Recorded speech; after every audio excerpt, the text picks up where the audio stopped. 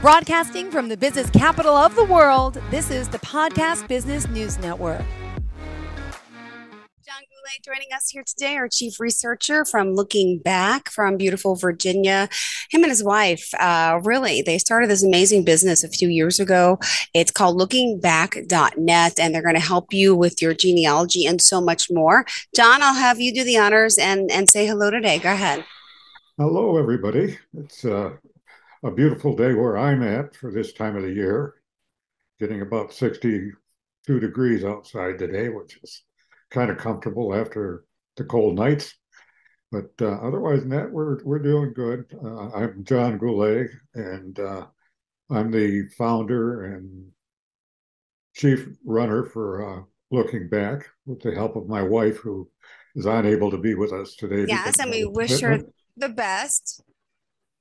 So uh, that's where we're at. And, uh, well, now we, have met, uh, we got to meet a few times already to talk about your background. Uh, and just for new listeners today, give us a quick recap of uh, the work you're doing, why you're doing it, I should say, before we continue to get into specifics about how you can help. Right. Well, that's why we're here is to help people that are interested in their own genealogy. Yeah. And we'll work with them any way we can to make it work uh, and help them.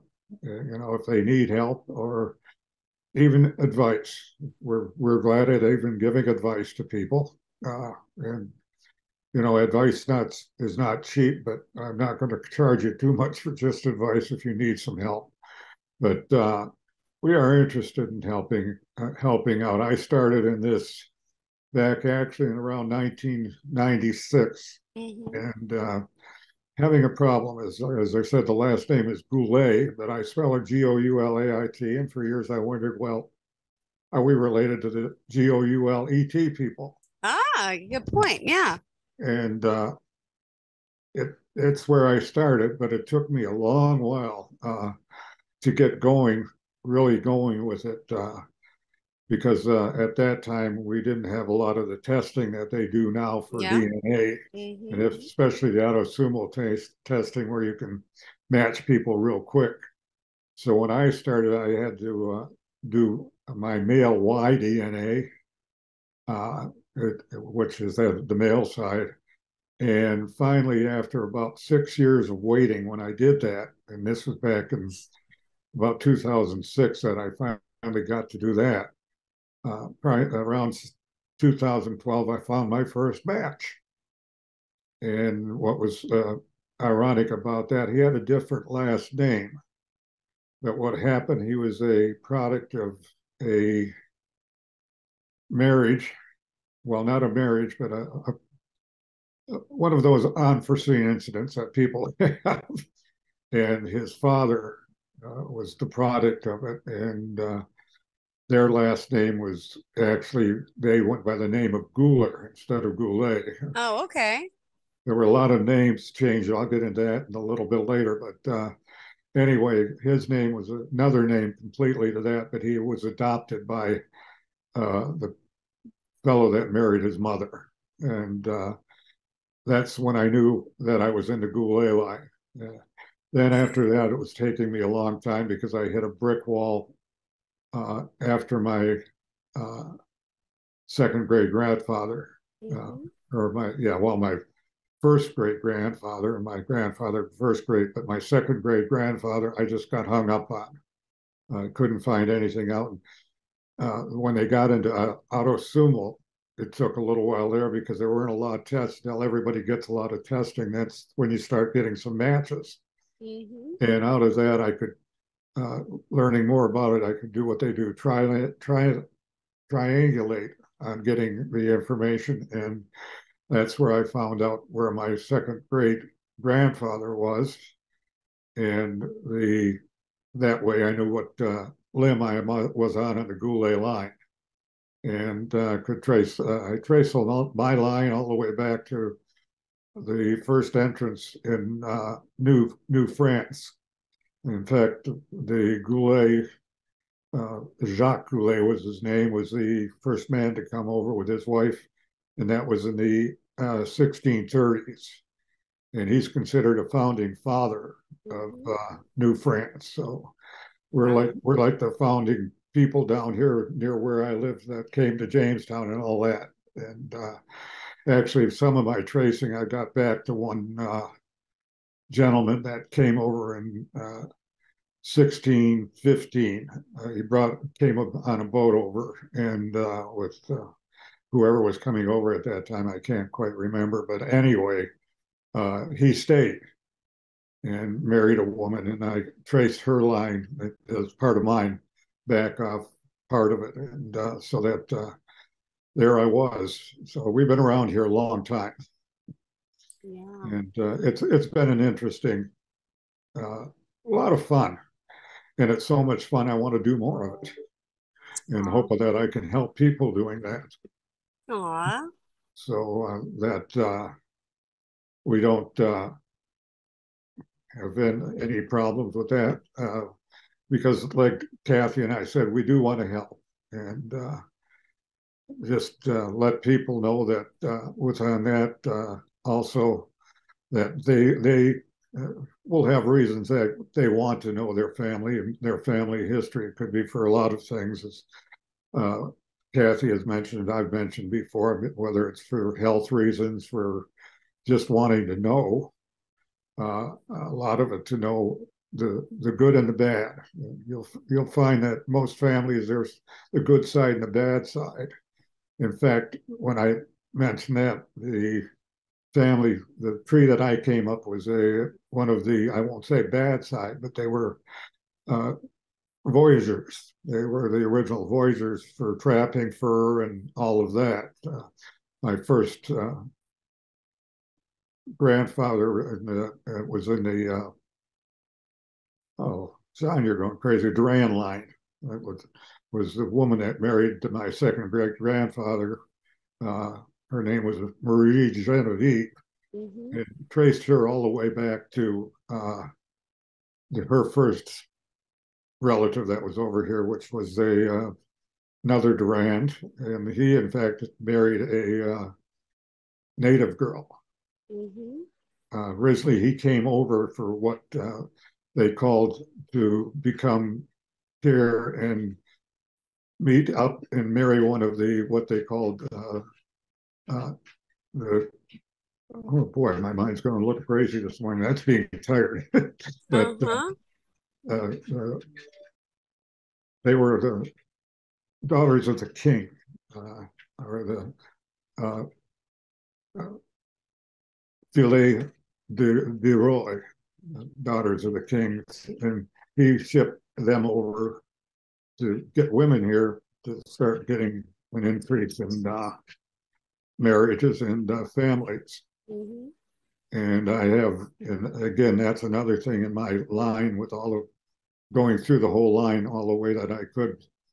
Uh, with all the off branches, I have about six Philly de Roy that were in my relationships.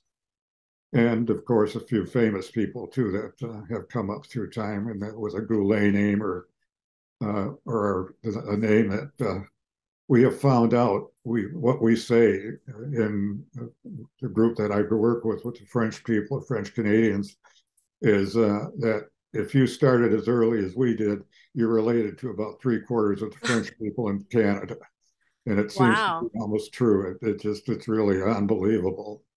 Amazing. Uh, yeah, uh, as people always ask me, are you related to Robert? That remember Robert Goulet? And uh, I can truthfully say I am. He's about a, I think it's a sixth cousin, uh, about uh, six times removed. So it, it it's uh, kind of a good thing. And then uh, I have the pleasure of knowing that I'm related to uh, uh, um, Celine. Uh, the, yeah, Celine. What is her name? I, I, am Celine Dion. Yeah, Celine Dion. And uh, another one is uh, oh, this is terrible. Don't don't worry about it, but I'll get it. It's not, it's not really that important, and it's name dropping anyway. I don't need to do that. But uh, it's it's really been uh, an interesting journey, uh, and a, a, real entertaining journey because, as I said, going through my line itself, especially from my second grandfather, second great grandfather, and his wife, uh, that whole side seems to be a little bit of uh, maybe the I will I will say the uh, some black sheep are in there that we have, and uh, in fact, uh, what caused a lot of problem for me, even with my great grandfather, uh, when I was doing this, I could never find his birth mm-hmm. on paper. But there was a birth of a fellow that uh, was born in the same year by the same family that uh, all my tracing goes through.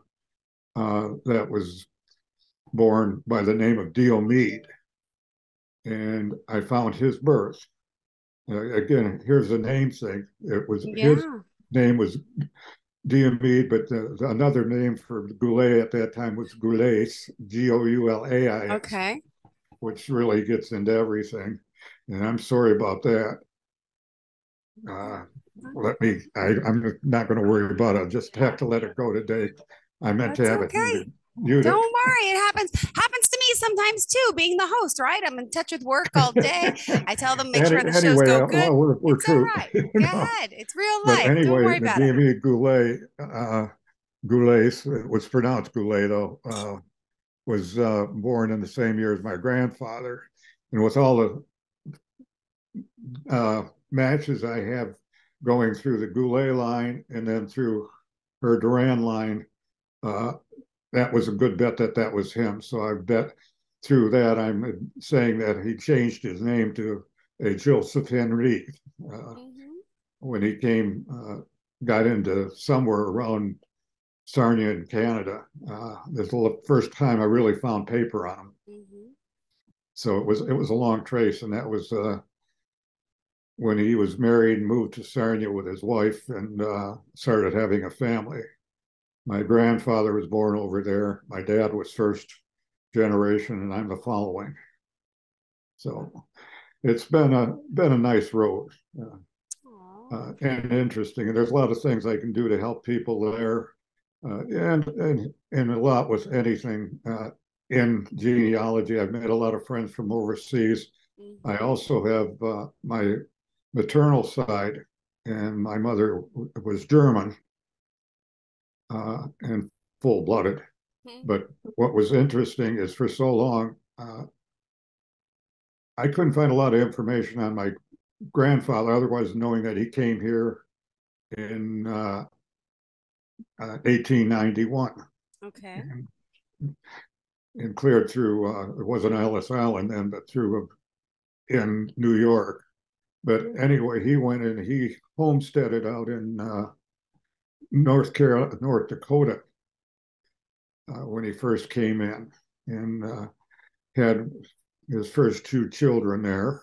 Uh, but he didn't finish his homesteading. He fell in love and met a woman, I guess, by the name of uh, Dickhoff.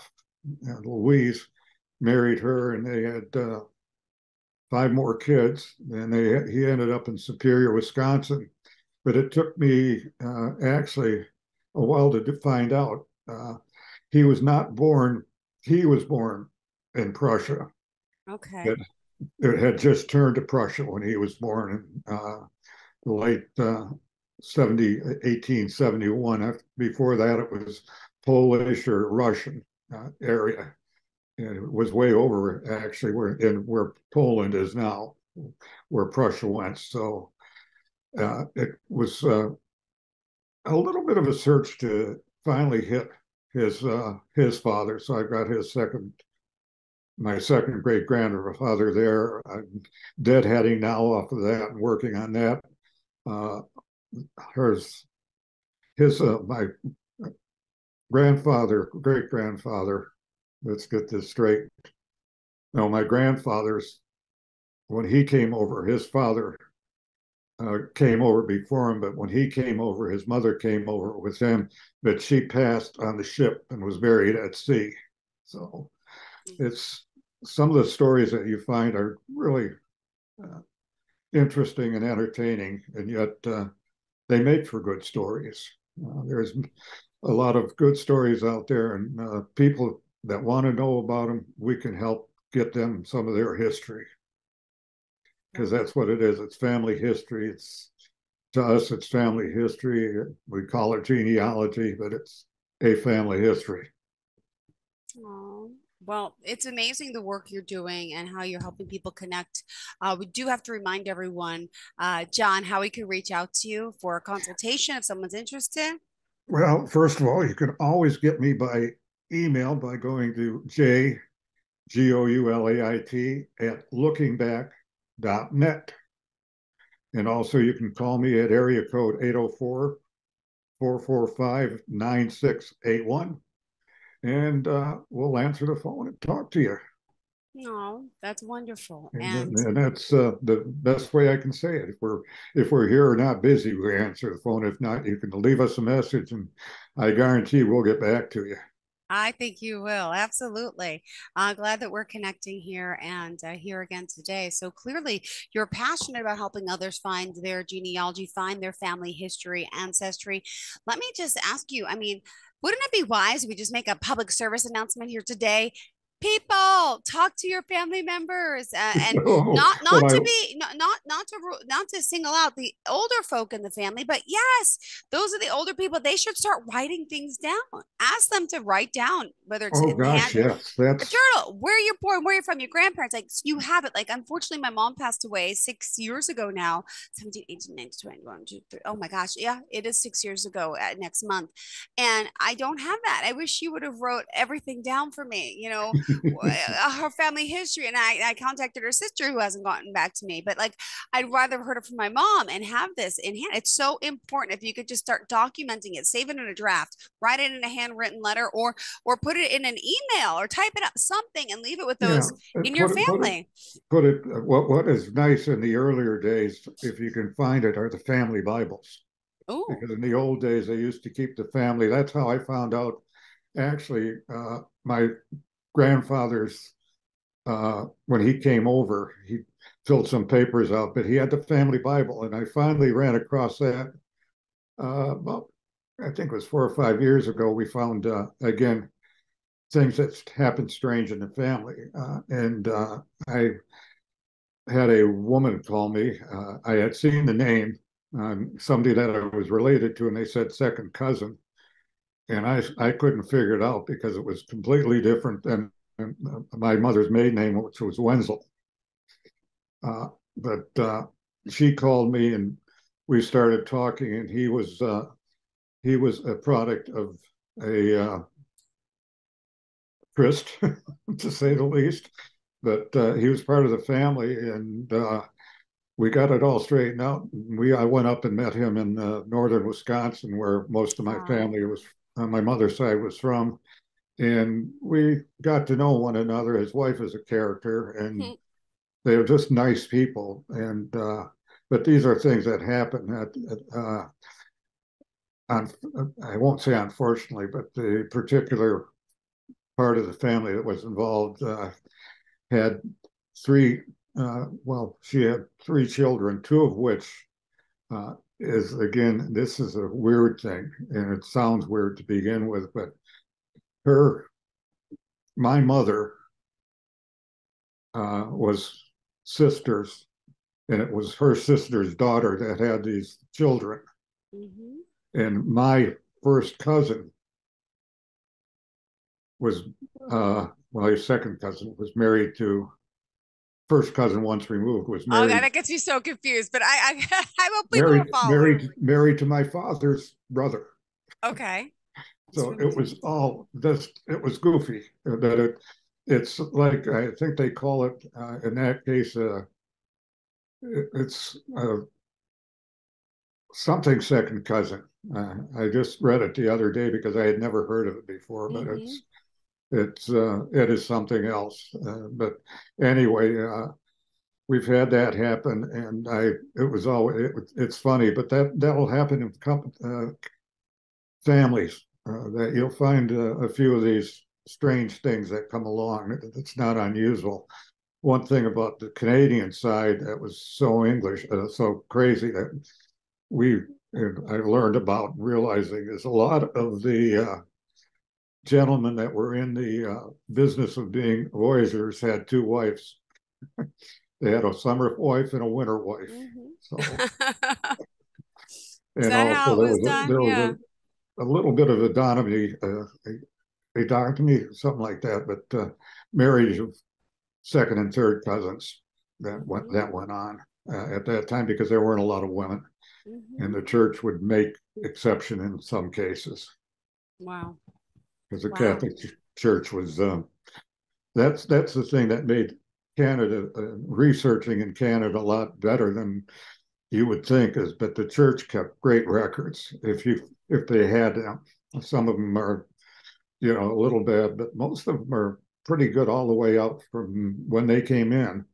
So you've got pretty good records to go through. Uh, it's just getting the right name and that. As i said goulet uh, I have goulets, I have goulettis, I have goulers, as I said, I have uh, Goulds. A lot of people change their name mm-hmm. uh, when they came into the States, especially because at that time the uh, French Canadians weren't very well accepted. It's like any group that comes in the first time around, they're they're usually not too accepted within the the group, mm-hmm. and a lot of them did change their name and it did help. So I mean, you know, it's things you have to do. I'm proud of my name, uh, but I just it was just a history that I never knew about. Again, as you said, we forget to ask. We we don't we think do. to ask our parents about things like that. We do exactly, and it's and so I, important. Yeah, I'll, I tell everybody nowadays when I talk to if your parents are around or you got some older relatives around, ask them about the family yeah. That's what we need to know. Yes, I like that. Mm-hmm. So, so it, it makes it rather interesting. It drives me crazy, but uh, it drove me crazy. Let's put it that way. But it was a good crazy. And, uh, I think that uh, with with with the experience we've had, and both of us are pretty well educated too. Uh, we could, we can do research quite easily, and like I say, I have friends around the world too that uh, I can get in touch with oftentimes to to help me, which makes it a lot better if you're, you know, coming from another country and your family or your family's been here a long time. It's good to be able to follow them too. I'm lucky enough that where I'm at, I've got, of course, the Library of Congress up in uh, D.C., which is about a two-hour drive, and in Richmond, I have the uh, Library of Virginia, which is uh, a wonderful depository for researching in Virginia. Yeah. Wow. Well, we also uh, we have uh, just three minutes left in the show, John. What else in particular do you want to share with our listeners today? Well, I you know I think what we got to today is just letting them know what we've got to got to show them and what we've done and what we can do for them uh, is is the big thing. We just ask that they uh, when they talk to us, we'll, what we do is we'll we'll talk to them for a little while and we'll decide what they want to do, and uh, then we'll contract if they want to contract out. It's as simple as that, uh, and that's what they what we do. Uh, what genealogists do will contract and make you a written paper of what we plan to do. Got it. And, uh, and I then, mean, and and to be honest, I mean, you don't know the timeline, right? How long it could take. I mean, some people want immediate results, but sometimes this stuff takes a while. You got to remind it, them does. of that, right? Yeah, I had I had years ago when I was doing this in the beginning, I had talked and gave some money to uh, pro. I won't say the name of the, the organization, but in the company, but to somebody that were professional geologists to see if they could help me because I, you know, the brick wall that I was having at that time. And the only thing that I ended up doing was paying $900 for a list of my grandfather and his kids, family. Yeah. And, and that was all out of, from Sarnia. So uh, I was very, very dissuaded by that. Uh, and I said, I'm going to do my own work. Again, it took time only because of what was available when I started. But uh, nowadays it's a, a, little simpler. A lot of people want to do it on their own. They're, I, I tell them go willing, willingly go and try. But if you need help, we will help. Aw. And uh, and it, it depends upon. Uh, normally, we charge by the hour. It's like being a a lawyer or any of those things. It's uh, by the minute. I mean, really, we break down the hour. Uh, so uh, because we've got normally we'll have two or three projects going at a time. Mhm. So it keep it keeps us dandy, and as we know through my wife, she has her interests from the Ukraine and Poland, so she's good on uh, Eastern Europe, and Aw. she has pretty good uh, relationship with people over there now that can help her out. So we can help a lot of people a lot of ways. Great. Well, thank you so much for being here, for joining us. John Goulait, remind us one more time of the website. Again, the website is uh, www. Uh. Perfect. Pretty easy. Great. Thank you so uh, much. It's up there, and it uh, we don't do a lot on there, but we can tell you we give you a pretty good look at what it what it's there for and what what we can do for you. Uh, but it's again, it's uh, I'd like to. I'm going to be doing work. I think we're going on. Mm-hmm. Well, thank you. Looking forward to it. And I hope your wife is feeling better soon. Okay. It's been Thank a you, good day. Thank you. Good. Same here. Yeah, Thank you. I appreciate it. And looking forward to the next time we connect. And Uh-huh. to all of our Bye-bye listeners now. and viewers, please stay tuned. More of the show is coming up right after the break. Are you looking for even more of the podcasts and hosts that you love? The Podcast Business News Network is proud to announce that you now have even more ways to listen live. Check out the MyTuner Radio, online radio box, and Simple Radio apps on iOS and Android, or find us online. Search for Business News Network on mytuner-radio.com or search Podcast Business News Network on streema.com and onlineradiobox.com slash US. Take your podcast on the go and don't miss a minute of the action.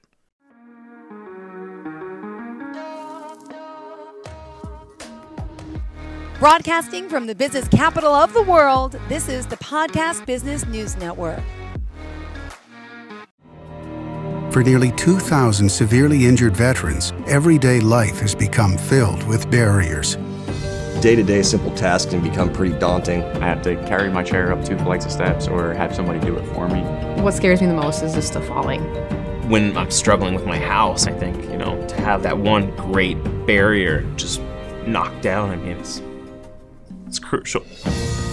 Home for Our Troops is a wonderful nonprofit that builds a mortgage free, fully adaptive, handicap accessible house. And there's no catch. It'll be our very first home that we've ever owned. This is a game changer. This is where your life begins again.